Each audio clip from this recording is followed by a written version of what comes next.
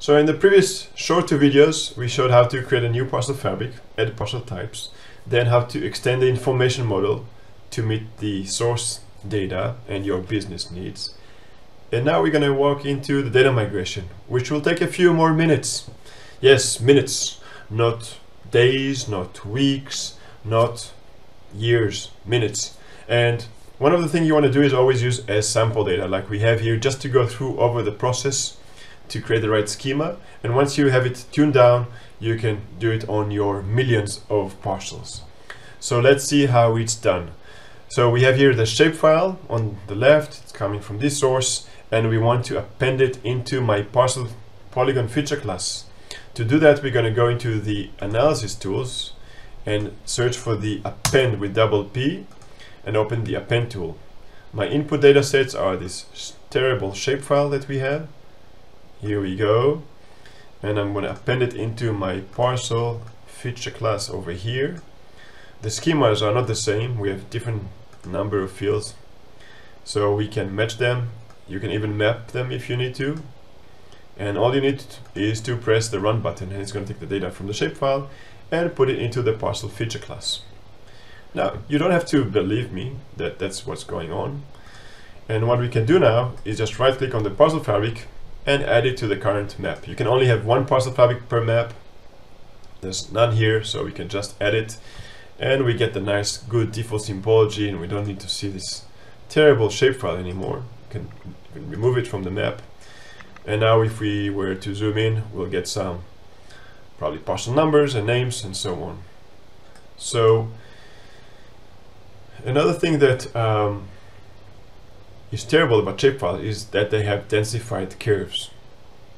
How do I know that? Well, if you go to the quality tab, to the preset layers, there's one line symbology that can show you vertices on parcels and you can choose the parcel type and you can see here that all of these curves have densified arcs, right? And we'd like to get rid of it as part of data migration. We can do it now before we create any other feature classes from those polygons.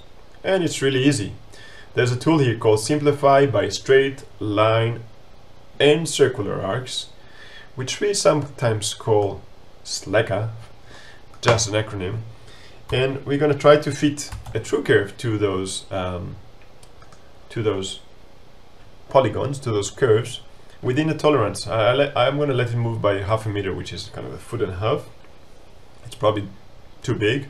I'm also going to avoid creating very small curves, so I'm going to give it, I don't know, one meter is the minimum, and don't create something more than a 10,000 meters which will become basically a very shallow curve. And I'm just going to press, um, okay, well the layer here doesn't matter. The vertices parcels and the parcel line um, parcels are pointing to the same data. Um, it's just different way to see and symbolize the same data. But the nice thing that if we are doing a good job, we'll see all those densified curves disappear. And we are running it on the entire data now. This tool is pretty efficient and there we go. True curves everywhere. So that's a quick way to clean up your data before you create lines from those polygons or records. Now we can remove this layer, we don't need it. And now we have nice polygons. So the next step will be to create parcel records. Well, there's two ways to do it. You can search for it or I can show you one time where it is in the parcel toolbox in the administration tool.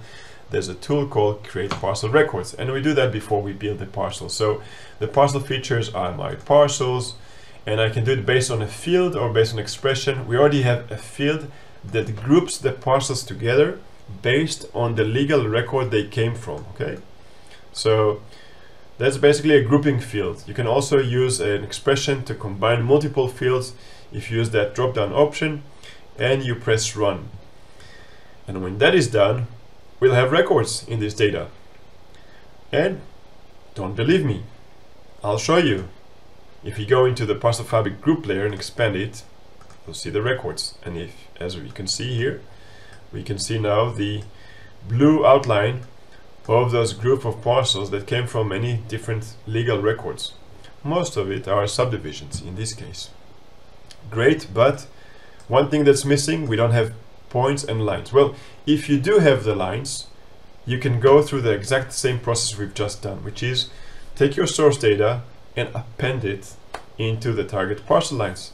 That will preserve any measurements, COGO, if you have them.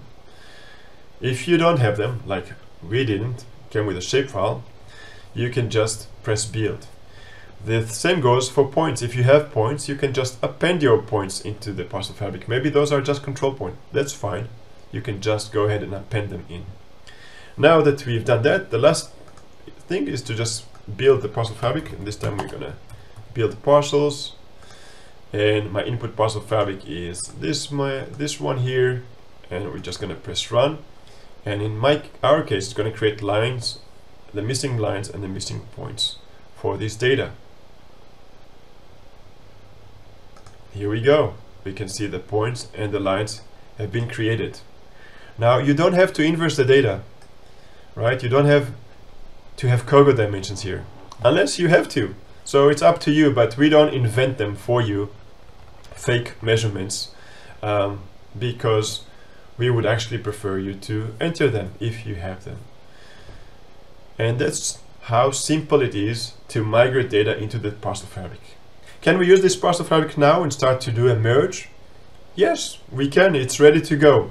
So this is a perfect way to take a small sample data, go through the entire data migration process, and then start working against it and test your workflows. Make sure you didn't forget a field or you don't need to add a domain and so forth and optimize the process. And once you have it figured out, maybe you run it on your million or 10 million parcels and get it done. Thank you everybody. I hope you enjoyed this video as well. Take care.